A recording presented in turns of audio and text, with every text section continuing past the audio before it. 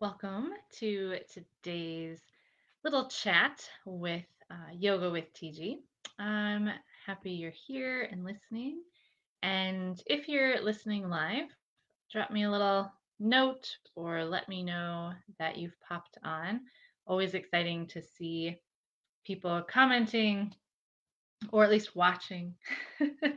um, so today I wanted to talk about one of the, it's almost an oxymoron related to yoga, but it's also one of the most important elements to why yoga is so powerful.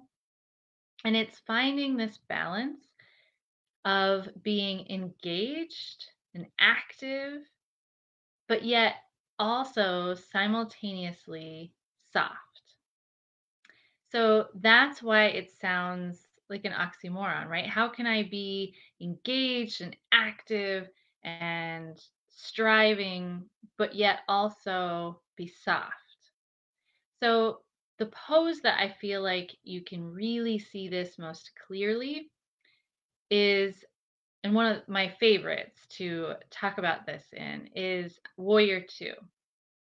So, oftentimes we get into warrior two, right? The arms come out to that T. And I oftentimes will cue that the shoulders should stay soft. So stay soft, so stay soft in the shoulders. Well, a lot of times when we don't know what that really means, you'll see people react in one of two ways. So I'm going to adjust here a little bit. So oftentimes when I cue stay soft in the shoulders, it's because they're coming into their warrior two and they have their arms up and their shoulders up by their ears. They're kind of like this, right? And so I say, well, stay soft or relax the shoulders.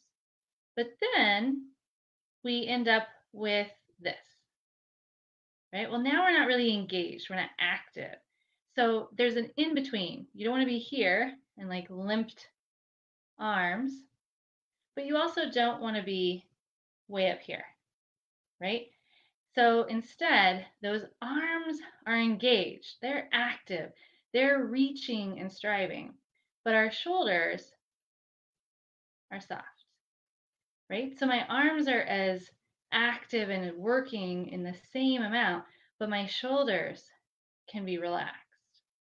And so it takes that pressure off of my shoulders, but yet I still get that full extension in the arms, all that work happening in the arms. And so that's what we're talking about in this engaged, but yet soft. Like, where are we active? Where are we working?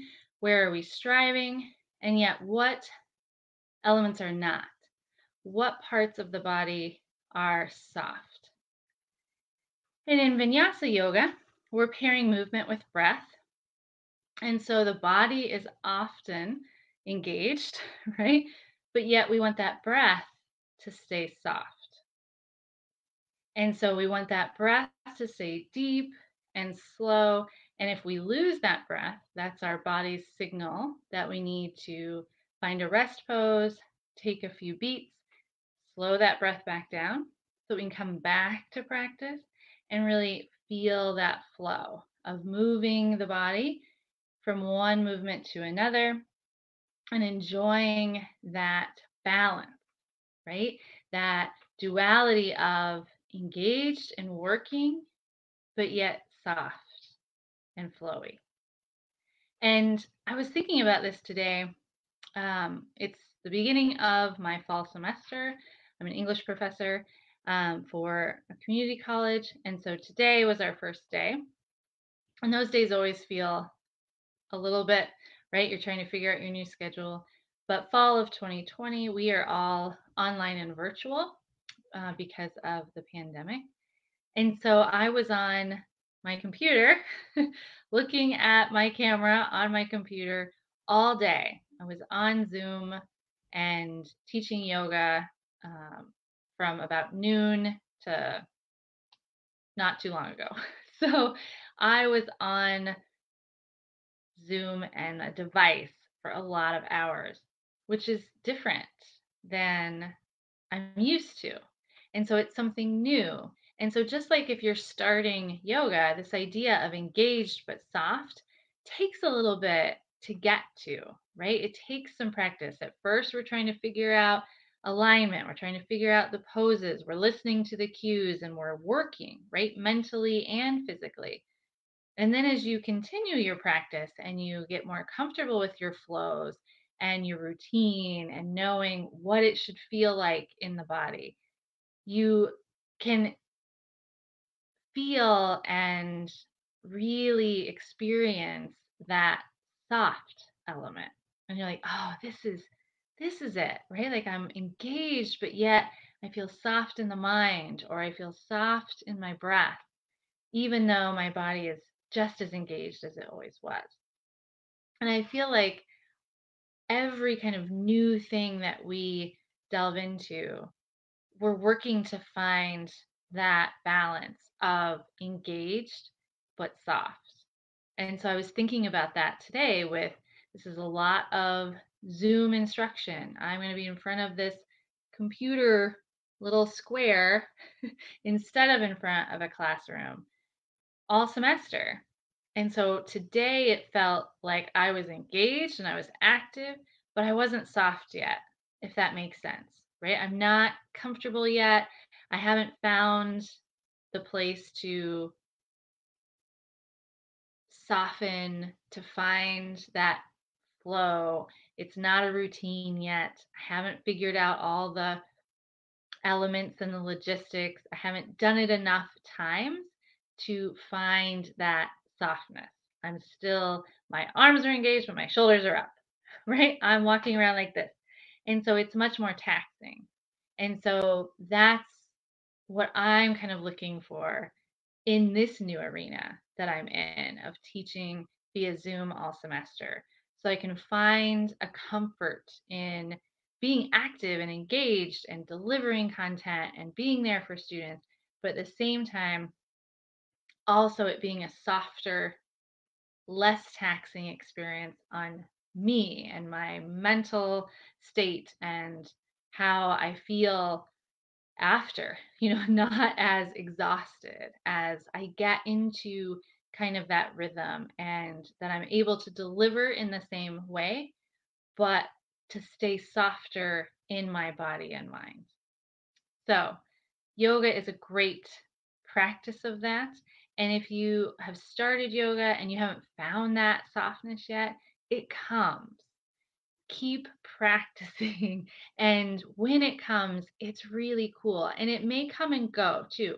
There may be areas where you feel it and you find it and you're like, oh, in that moment when we were doing that, I felt like that ease of the breath and the flow. And I felt that engaged, but yet soft element.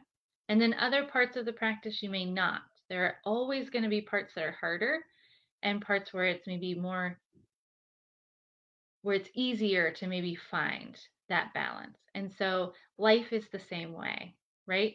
That there will be days where like, oh, I think I think I found kind of that rhythm. It felt good. And then other days were like that just I was fighting life the whole day through, right? And so that's kind of all part of it. And I think it's another great way that yoga and life really collide and represent kind of one another. And that is another reason we meet ourselves on our mat on a regular basis.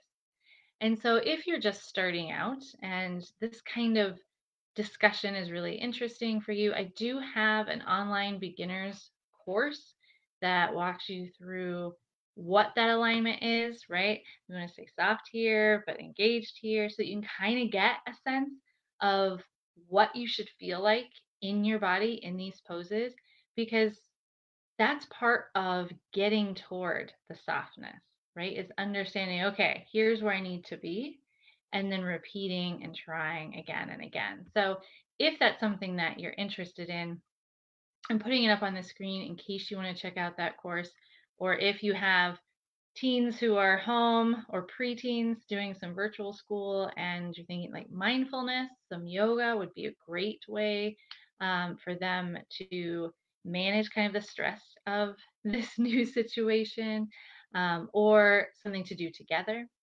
Uh, bit.ly slash beginning yoga will take you to the page and you can learn more. Also, let me know if there's anything that I can answer or help you um, learn about. I'm always excited to talk yoga. So let me know if I can help you in any way. And I wish you a day tomorrow of being active and being engaged and present, but also nice and soft.